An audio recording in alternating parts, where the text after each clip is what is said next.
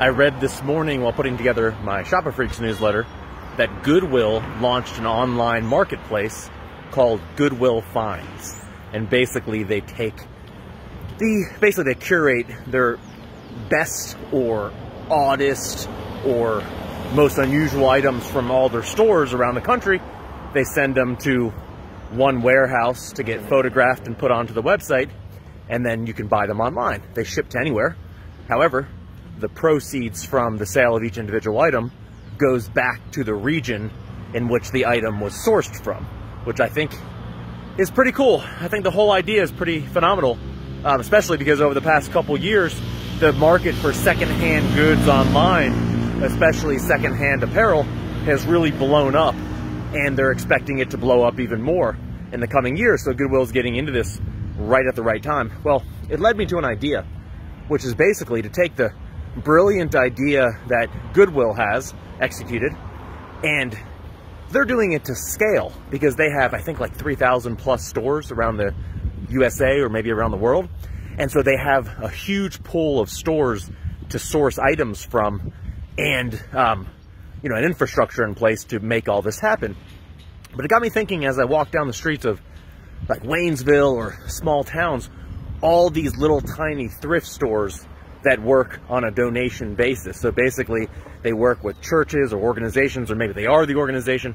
They uh, collect items and then they sell them in the thrift store, and the and the thrift store gives back to the charity. I know you've seen them because they exist in every uh, every city in America.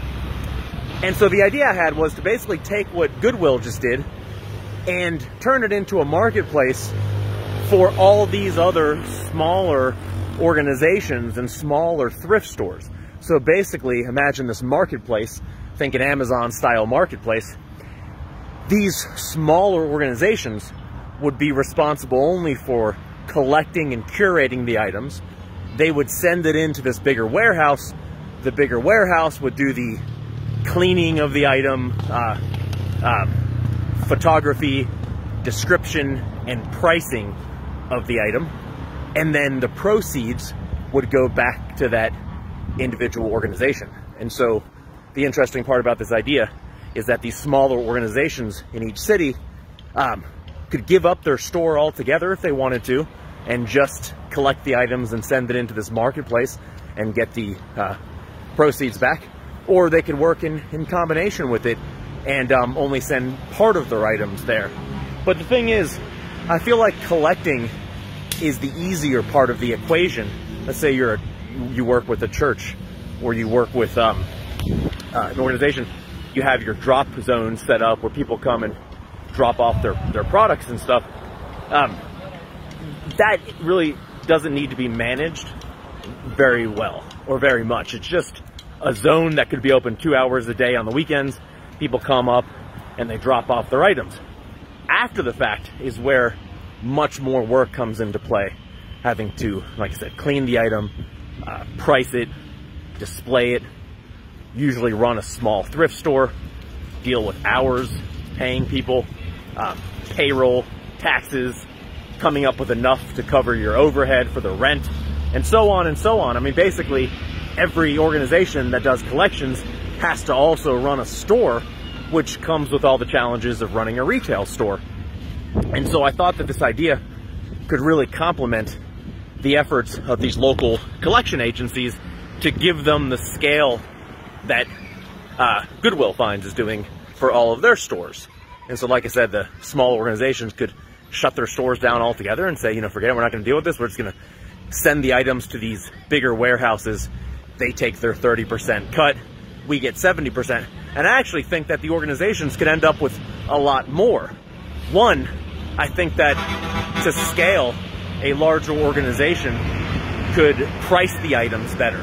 How much time and resources does a small thrift store have to pricing items? So I think a lot of times items get underpriced because they don't necessarily have the resources or the technology to go through and say, how much is this shirt worth on the secondhand marketplace? How much is this particular product worth? Um, whereas you can do things like that to scale a lot more efficiently. Um, so I think they could get more, more per item to make up for the amount that the uh, platform would have to take. And I also think that um, they would make more money in the end by not having to have the overhead, like I had said, of running an entire storefront and dealing with payroll and all that stuff. Now, the downside of this idea is that I don't mean to take jobs away from local communities, which a lot of these stores oftentimes in, employ people who otherwise might be have a difficult time seeking employment.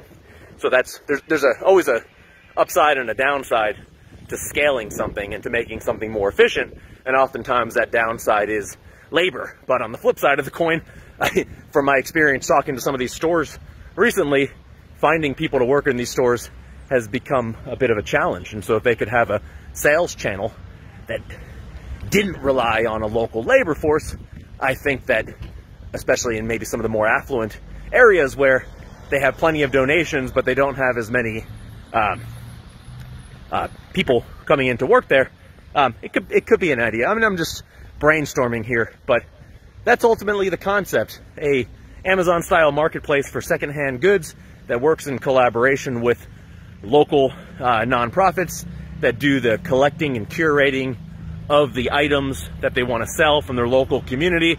They ship off the trucks to the larger warehouse. The larger warehouse, you know, sorts, uh, cleans, photographs, writes descriptions for, and titles, markets the items, all in, like I said, a much more scalable fashion so that um, uh, the local organization that did the collection receives, I'll say 70%. I'm making up numbers, but I think it would have to be realistically a 30 or 70 split minimum for the platform in order to do all this because it's certainly a big undertaking to um, collect all these items, clean them, process. But that's the point. It's like local thrift stores are just not going to do it.